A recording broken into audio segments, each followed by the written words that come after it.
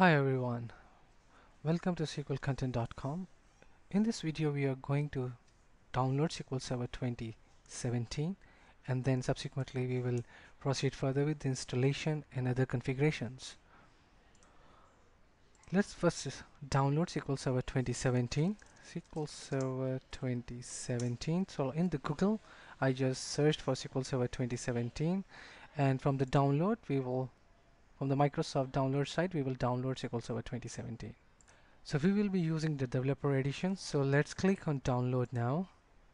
So this will download an exe file which will give us options to download the developer edition binaries or directly install it on our environment.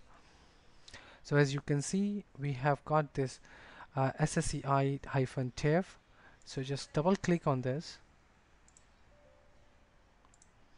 It will ask you for the administrative privileges so we will give this uh, SQL Server 2017 Developer Edition uh, pop-up window where we have to choose the SQL installation type like basic, custom or download media. So I have uh, clicked on this download media and already downloaded the binaries. So here is the file which I have downloaded. It's almost nearly about 1.43 gig.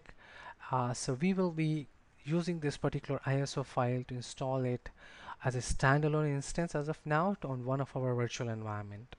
So I'm using Oracle VM VirtualBox Manager to set up our virtual machines. Now I have a domain controller which I have already configured before. So I'm going to start that up and then I will install my virtual machine which is part of this domain controller. So my domain controller is starting up. So let's start our machine which is known as SQL 2017 SGPT1 so let's do a normal start. So the machine is starting up. So just give a couple of seconds to start it up. So our machine is up. So let's log in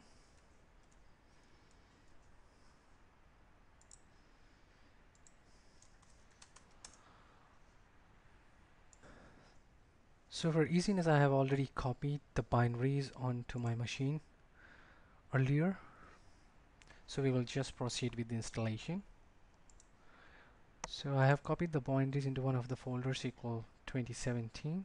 We will just use the setup to install a standalone instance. This will be a series of installation using the GUI method and then using the silent or command prompt methods. So as you can see we are here in the SQL Server Installation Center. We will go to the installation tab and we will choose new SQL Server standalone installation or add feature to an existing installation. So now we are here on the setup. So as you have see, uh, you can see here that uh, we have uh, downloaded the developer edition. So we are going with it without any changes. Just click next we will just select the license terms. I accept it. Click next. There will be certain global rules which will be run so you can see the details like setup administrator and accounts and restart computer pending the framework and other stuff. So once it is passed successfully we can move to Microsoft updates. Now if you want to uh, automatically download the updates you can choose this button uh, if your uh, server or, or your virtual machine is connected to the internet it's recommended but uh, because my machine doesn't have the internet connection at the moment so I'm not just choosing this option. I'm just clicking next. So because I have not chosen the Microsoft updates I'm not and doesn't have an internet connection so I will not be installing the product updates as well. Just click next.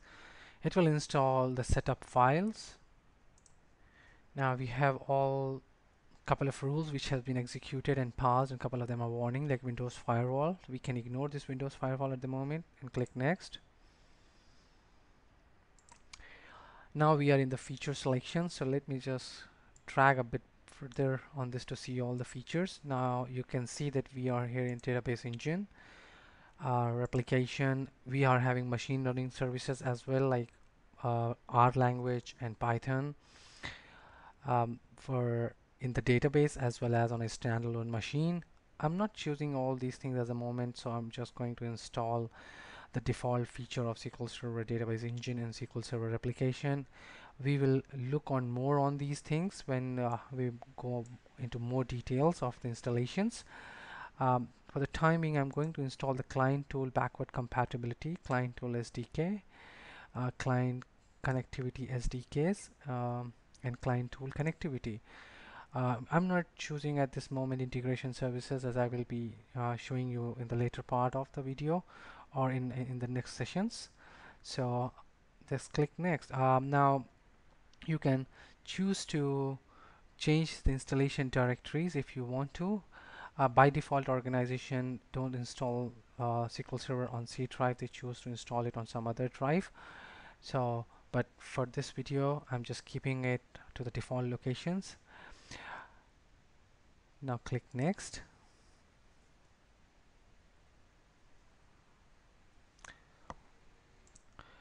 Now if you want to change the default instance you can change and give a default instance name.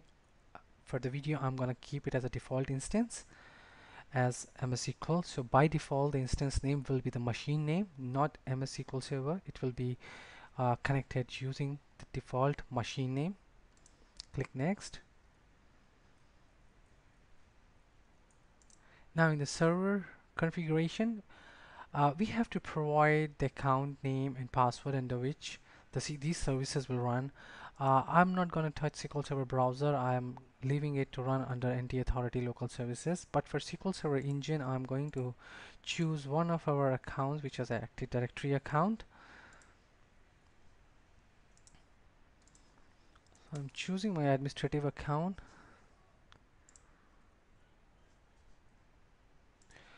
So I'm going to put a password now.